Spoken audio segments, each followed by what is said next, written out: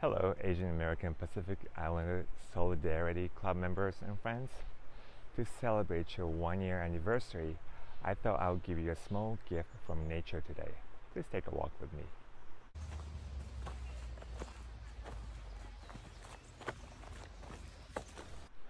You probably have seen California redwoods and know that mature trees can be two to three hundred years old, and some of them are over 1,000 years old.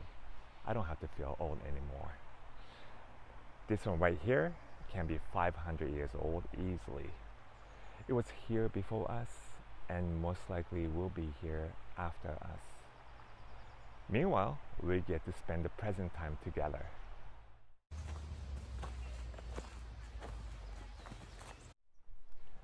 What we see outside is magnificent, but what's underneath is even more amazing. You see, you might think that the roots of these trees are deep in order to hold up such a big mass for many years. They're actually shallow. They're only about 10 feet deep. Then, how are they standing tall for many years? The answer is a sophisticated root network called mycelium. The roots are not only holding up each other, but they communicate with each other. They can detect threats from miles away and they can send nutrients that are needed for healthy growth. If you think the internet is awesome, try mycelium. What can we learn from trees? An obvious lesson is to learn and relearn how to take care of each other. We need each other not just to survive, but to elevate the human species to ne- the next level.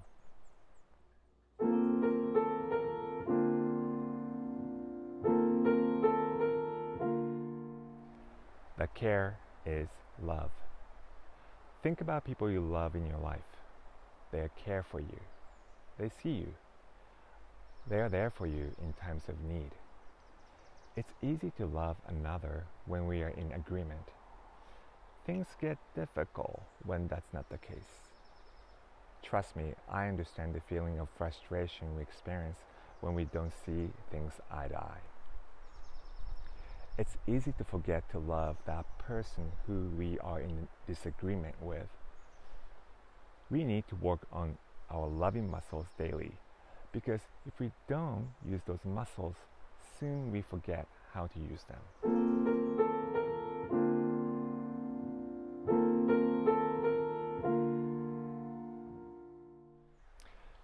I'd like to invite you to do this exercise with me.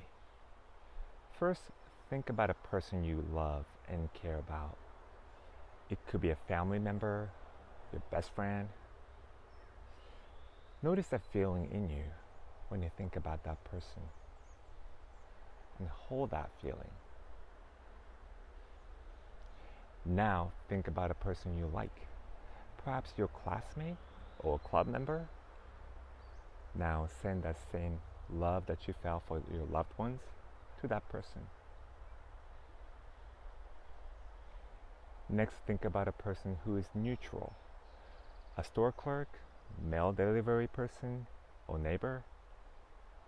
Send that love to that person. Next, think about a stranger, stranger who sat next to you on the bus or plane, who you passed by on the street. Send that same love to that person. How are you doing? Some may find it difficult or some may find it easy. But finally, think about a person you have difficulty with. Yes, that person. Trying to send that same love to that person. And think this just like me, this person is seeking happiness in their life. Just like me, this person is trying to avoid suffering in their life. Just like me, this person felt sadness, loneliness, and despair like me. Just like me, this person is learning about life.